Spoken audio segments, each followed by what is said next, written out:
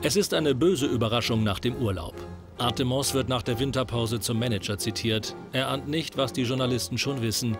Werder feuert de Boss. Fristlos. Offizieller Grund, vereinsschädigendes Verhalten. Sie herzlich bitten, eben in den Presseraum zu folgen. Bitte um Kündigung heißt der Spiegelartikel, in dem sich de Moss angeblich um Kopf und Kragen geredet hat. Ich habe nichts zu suchen in diesem erstarrten Fußballland und es wird nie was aus diesem Club. Damals hat er das alles bestritten. 16 Jahre später klingt das im Sportclub-Interview etwas anders. Ich weiß nicht, ob ich, das gesagt habe. Und wenn ich das gesagt äh, habe, dann ist das ein Fehler gewesen. Aber das ist die Enttäuschung, da muss man durch die Regeln lesen.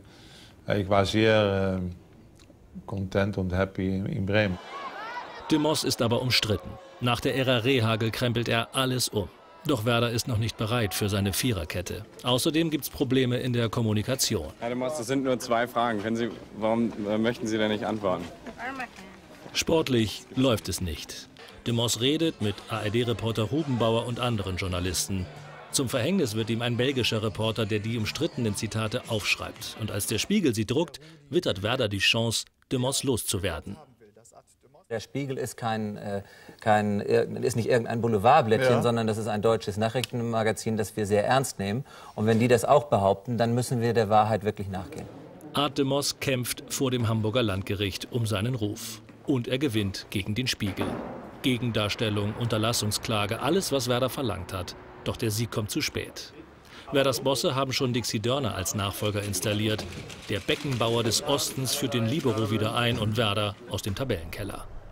Vor dem Bremer Arbeitsgericht klagt Artemos weiter, jetzt gegen Werder. Er will die Wiedereinstellung als Trainer erstreiten. Doch in letzter Sekunde kommt es zur Einigung. Man trennt sich nun offiziell in gegenseitigem Einvernehmen. Als Trost bekommt der Holländer eine fette Abfindung.